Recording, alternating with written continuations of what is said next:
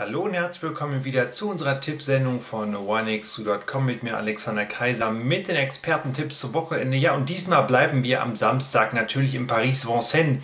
Da haben wir zwei Gruppe 1 Rennen am Ablauf und werden dann noch einen Abstecher am Samstag nach Maidan machen. Der Super Saturday steht dort vor den Toren. Da haben wir zwei Gruppe 1 Rennen und eines habe ich für Sie vorbereitet. Aber zunächst nach Paris, nach Vincennes. Es geht zunächst in ein Reiten Gruppe 1 der Prix der Zentauren. Prix de Centaur 240.000 Euro ist dieses Monté dotiert und es ist eine Bänderstartprüfung über 2200 Meter. Ja, drei Pferde haben 25 Meter Vorteil, die müssen nur über 2175 laufen. Das sind die Vierjährigen, alle anderen Fünf- und Sechsjährigen müssen 25 Meter geben. Ja, die Favoriten kommen aber aus dem zweiten Band, allen voran Granville Bleu, das ist die Levec-Stute, ein absolutes Ausnahmepferd, warm kondoliert Zweiter hinter Flamme de Goutier. Und zuletzt musste sie gegen Freeman de Duell für Toto 20 ein bisschen federn lassen, aber auch hier eine Top-Leistung, äh, Bestzeit von 10,4 und ähm, das Pferd hat zwar zuletzt harte Rennen gehabt, aber das sollte auf jeden Fall der Favorit werden. Hirondelle du Rip äh, zeigte zuletzt mal wieder, was in ihr steckt. Die Stute ist ein Jahr jünger als Granville Bleu, lief auch im äh, Cornelier, äh, wurde aber dort disqualifiziert, disrot. Das war ein bisschen zu früh für sie. Aber sie ist ein tolles Pferd und sie wird sicherlich nicht bei 363.000 Euro Sieggewinnsumme bleiben. Ähm, aber Granville Bleu ist jetzt schon hier ein starker Gegner. Die beiden müssen 25 Meter auf das beste vierjährige Pferd ähm, Icy Separi äh, geben. Ähm, das Pferd gibt sich ja hier nicht die Blöße, geht in dieses tolle Rennen rein mit Eisen drauf. David Toumont, der Partner, Philipp Aller, der Trainer. Ja, und zuletzt sein zweiter äh, Platz, äh, aber das Pferd steht schon bei 444.000 Euro Gewinnsumme.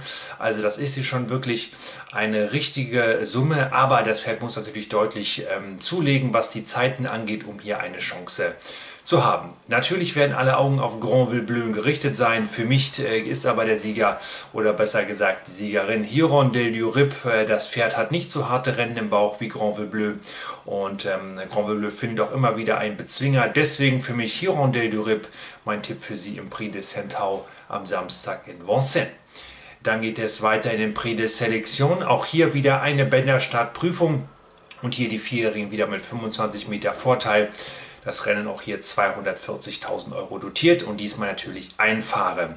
Auch hier der Favorit im, im zweiten Band, das ist Honeck. Und das Pferd musste zuletzt nach dem Amarik gegen ein Basierpferd äh, eine Niederlage einstecken, war Fünfter im Amarik.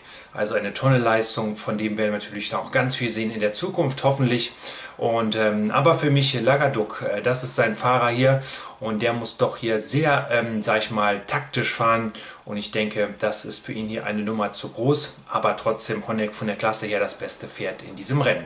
Aber 25 Meter auf einen Italiano Vero und besonders auf einen Idao de Tila zu geben, ist nicht einfach den Duvalis Trancha, da hatte ich ja letztes Mal angesagt und er gewann gegen Isoad Vedakwe nach einem harten Kampf. Das war wirklich toll, wie die beiden sich duelliert haben. Ist schon 10-7 über 2100 Meter gelaufen. Also Idado de Tila wird immer besser von Start zu Start und auf den 25 Meter zu geben, das ist doch auch für einen Honeck sehr, sehr schwer.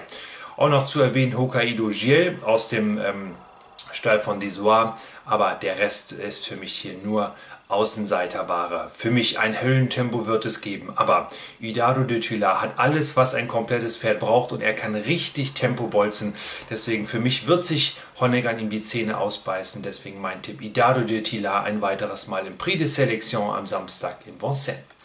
Und dann geht es weiter nach Meidan in die Vereinigten Arabischen Emirate, in die Jebel Hatta, ein Gruppe 1 Rennen und auch an diesem Samstag in Meidan tolle Rennen. Und ich habe mir dieses Rennen über 1800 Meter auf Gras herausgesucht.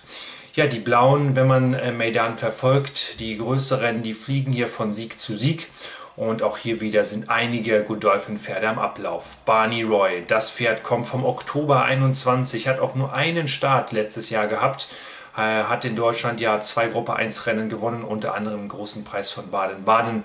Ähm, der hat natürlich was gehabt, das mahnt natürlich zur Vorsicht, ähm, hat nur einen Start, wie gesagt, im letzten Jahr. Aber ähm, Charlie Appleby, ähm, er wird hier ihn nicht umsonst in diesem Rennen genannt haben. Also der muss schon gut in der Arbeit gehen, sonst würde er ihn hier nicht laufen lassen. Lord Glitters, der alte Recke, flog mal wieder von weit hinten heran und gewann ein weiteres Grupperennen. In Maidan schlug dabei Sarkuski. Ähm, die beiden treffen sich hier wieder, schlug ein weiteres Mal Sarkuski, denn auch den hat er schon mal geschlagen. Ähm, und Sarkuski ist das Hauptfeld in diesem Rennen. Also Lord Gitters hat hier sehr, sehr große Chancen, dieses Rennen äh, zu gewinnen. Immer wenn man denkt, es geht nicht mehr, dann kommt er wieder. Er ist mittlerweile neun Jahre alt, aber er wird einfach nicht schlechter. Sarkuski, ich hatte ihn schon angesprochen, erst zehnmal gelaufen, der Sechsjährige, ein Superstar in the Making, haben wir nicht so oft auch auf der Insel gesehen, aber man wird noch viel von ihm hören. Vielleicht noch ein Außenseiter zu erwähnen, Felix aus dem Stall von Marco Botti, der war letztes Jahr Dritter im Dubai Turf zu hohen Odds, ist aber eigentlich ein Sandspan-Spezialist, aber er hat hier, wie gesagt, letztes Jahr überzeugt. Ja, Barney Joker ist der äh, Barney Roy ist der Joker in diesem Rennen, das wollte ich sagen. Ähm, da müssen wir mal gucken am Toto, was der steht. Aber für mich, Lord Glitters ist auch der Titelverteidiger in diesem Rennen. Und ja, Sarkuski scheint immer wieder die Zähne an ihm auszubeißen. Ähm, Lord Glitters ist einfach eine Klasse besser. Und für mich hier das Feld überschaubar, muss ich sagen, für ein Gruppe 1. Deswegen für mich Lord Glitters ein weiteres Mal der Sieger im Jebel hatte am Samstag in Maidan. Ja, das war es schon wieder mit unserer Tippsendung. Ich bin Alexander Kaiser und wünsche natürlich ganz viel Glück am Anlegen Ihrer Wetten an diesem Wochenende. Besser machen Sie es gut und schaffen Sie was an. Tschüss.